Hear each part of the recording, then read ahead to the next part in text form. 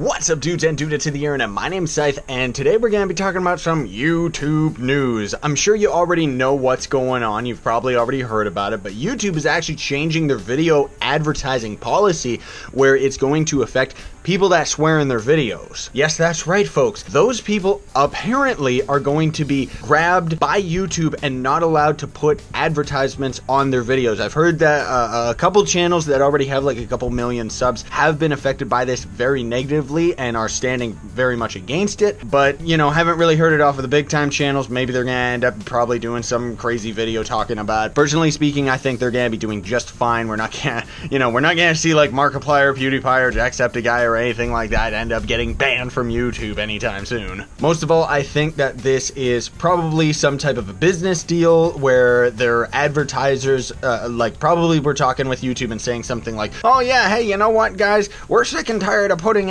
advertisements of our car commercial on this channel that's just vulgar and swearing and gross stuff all the time or something like that. Who knows? Is it going to affect me? No. Is it going to affect other small time channels? Most likely. There's lots of small time channels out there that do swear. I'm kind of the minority in that, and I think that they're gonna end up seeing the biggest hit out of this new uh, video policy. Technically speaking, for a very, very long time, lots of top YouTubers have already been getting away with stuff that is completely against the terms of service, but they're at the top and YouTube wants to make money. It'd be bad business for them to do anything about that. However, small time channels have actually been affected by not only this, but just everything about the terms of service for years. I remember that before I had 30 or 20,000 subscribers, YouTube actually grabbed me a lot. They gave me a lot of trouble. You wouldn't think so, but yeah, they did. In fact, I remember once I had to actually prove to them that one of the songs that I used in one of my videos